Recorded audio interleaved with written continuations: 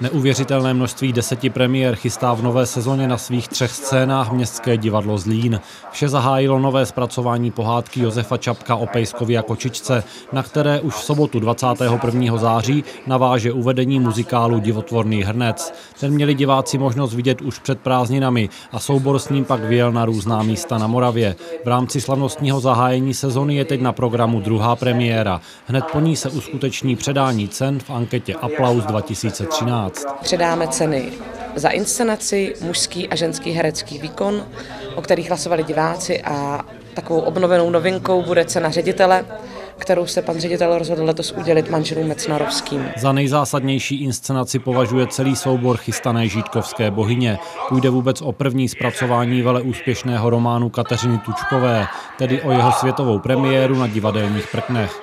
Tomu, že se dočká mnoha repríz, napovídá zájem čtenářů, ale i filmařů o osudy lidových léčitelek, které jste ještě donedávna mohli objevit v Kopanicích. Režie se ujal Dodo Gombár, který spolu s Kateřinou Tučkovou zpracoval také scénář. Hlavní roli Dory se pak na prkna Zlínského divadla vrátí Petra Hřebíčková, která tu prožila sedm sezon a teď působí v Praze. Myslím si, že to takové lehké šimrání, které člověk cítí u toho, když to čte ten román, tak zažít ho v divadle bude opravdu asi něco výjimečného.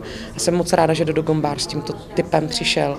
A myslím si, že ta inscenace nebude výjimečná jenom tou předlohou, ale právě tím, že vzniká tady v našem městském divadle Zlín, v regionu, kde je k těm kopanicím blízko. Regionální souvislosti má i další chystané představení. Autor románu Největší z Pierotů František Kožík totiž pocházel z Uherského Brodu a byl dokonce prastrýcem ředitele Městského divadla Zlín Petra Michálka. A tak nepřekvapí, že píšící šéf souboru se ujal scénáře. Pro velký sál připravuje ansámbl také další dvě hry. Tou první je autorský text Romana Vencla a Michaely Doležalové s názvem Hrabě Monte Carlo. Druhou slavný muzikál My Fair Lady. Pokud se ale chceme zastavit u novinek z Línského divadla, nemůžeme zůstat jen u představení. Za kulturním zážitkem teď můžete vyrazit i s vašimi dětmi. Nudit se nebudou. Protože jsme zjistili, že je několik diváků, kteří chtějí jít do divadla a nevědí v tu chvíli, co s dítětem, proto jsme ve spolupráci se společností Aktivně životem nabízíme tuto novou službu, takže bude o děti postaráno dokonce aktivně a to tak, že si budou hrát na divadlo, budou si hrát s kostýmy a tak dál a rodiče se zatím můžou podívat na divadelní představení. Změnily se taky webové stránky divadla a vstříc návštěvníkům chce jít soubor i v systému předplatného, které si v komorních scénách bude možné přizpůsobit na míru.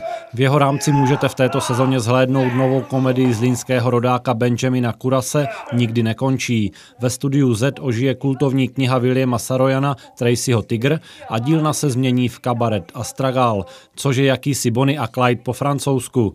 V příštím roce uvede divadlo také Labirint světa a ráj srdce dalšího velkého Čecha pocházejícího z Uherskobrodska Jana Amose Komenského. Já, já chci taky prstýnek.